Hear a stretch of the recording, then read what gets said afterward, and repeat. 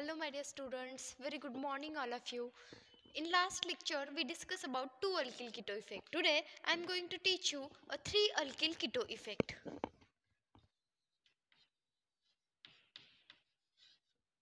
Three alkyl keto effect in which uh, suppose I am taking one example of this cyclohexane and it is a cyclohexanone cyclohexanon in that there is a carbonyl group which is from bottom side and here is two axial hydrogen at the alpha hydrogens. Okay these are alpha because these are below the plane but they are in axial position. And here is also hydrogen but this hydrogen is replaced by the carbonyl group. There is no present of any hydrogen group because the valency of carbon is 4 okay? And it is satisfied by this carbonyl group hence there is no any hydrogen. And if suppose there are only one interaction is possible okay? Because if suppose there is present of one hydrogen then there are possible two interactions are possible or three it may be three this one two and three interactions are possible. But there is no present of any hydrogen because the hydrogen uh, because the present of this carbonyl group hence there are is only one interaction is play oh, happen occurs. Suppose this hydrogen is replaced by any alkyl group that is CH3 group. There is presence of one interaction only one interaction.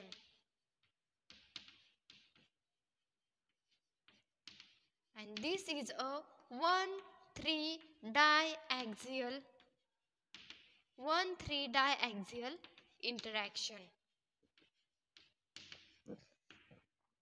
okay there is present hmm. of only one interaction in ch3 and hydrogen. Okay only one interaction. And this 1 3 diaxial interaction that is 1 2 3 4 5 6 okay 1 2 3 1 2 3 and this is called as 3 alkyl keto effect.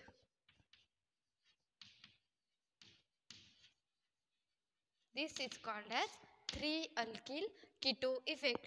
Uh, in last lecture we discussed the because of the axial and equatorial there is a change in energy also okay? And hence here is also uh, change in energies. Some of the axials have different energy and some of the equatorial has different energy. Suppose this ch3 at the equatorial then it shows a different energies okay? Now the next point is for the polar atoms. Effect of adjacent polar atoms. Okay this is a 3 alkyl keto effect. Now the effect of polar atoms.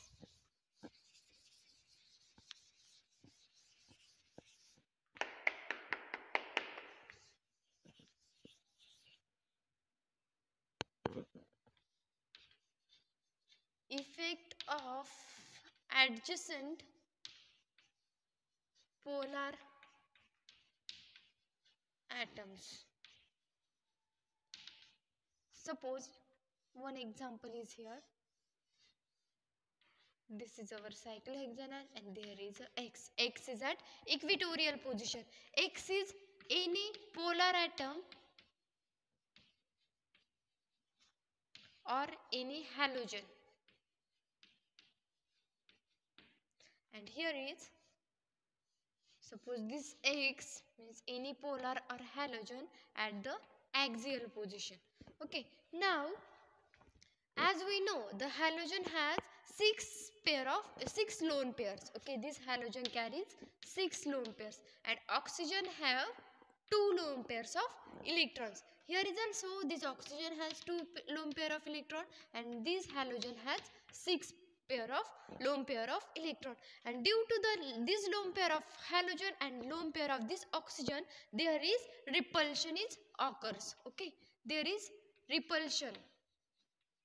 Repulsion because of the lone pair of this halogen and this oxygen there is presence of their repulsion and hence there is a high energy. It is unstable and it carries a high energy because of this repulsion. And here is no any repulsion okay? Hence it has a low energy and it is more stable.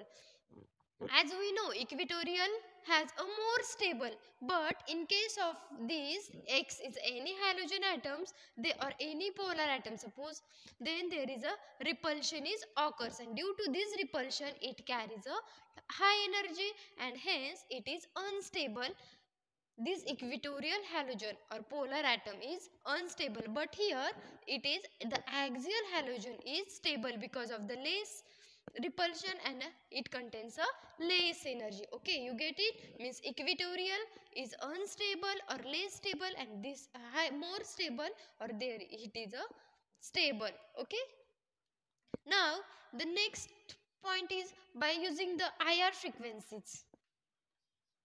IR frequency that is HCO the frequency of this carbonyl in by using IR the frequency is 1740 unit is centimeter inverse. Okay and for IR for this carbonyl group adjacent to this halogen is 1720 centimeter per inverse. There is a difference is only 20 degrees uh, sorry 20 centimeter inverse. Okay the, this equatorial halogen and the higher frequency of this carbonyl due to, because of this equatorial halogen there it is only 1740 centimeter inverse. And here the axial halogen and the frequency of this higher frequency of this carbonyl is 1720 centimeter inverse. The difference is only 20 centimeter inverse. And because the difference is only 20 centimeter inverse because there is a dipole movement. Presence of the overlapping of this dipole movement. Okay there is overlapping of this dipole movement. And hence the difference is it has uh, the equatorial has a high frequency than this axial hal halogen. Okay hence because of the dipole interaction or overlapping of this p orbital because overlapping of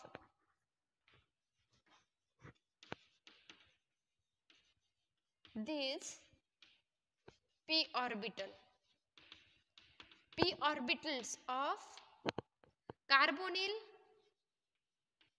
of carbonyl group and CX or any halogen atom or group. Now by using the UV frequency or UV rays the next point is for first one is uh, first one is polar which is high unstable more stable.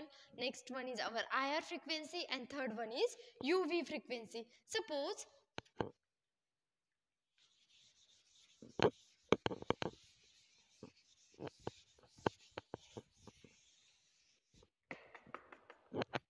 by using UV because of this there is a more overlapping of p orbital. Okay there is overlapping between the p orbital and hence it has a longer wavelength. Suppose this is a and this is b. B has a longer wavelength. And hence suppose it has a longer wavelength called as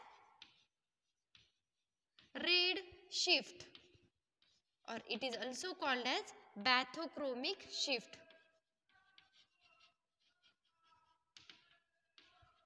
And it is also called as bathochromic shift and A in A has a shorter wavelength.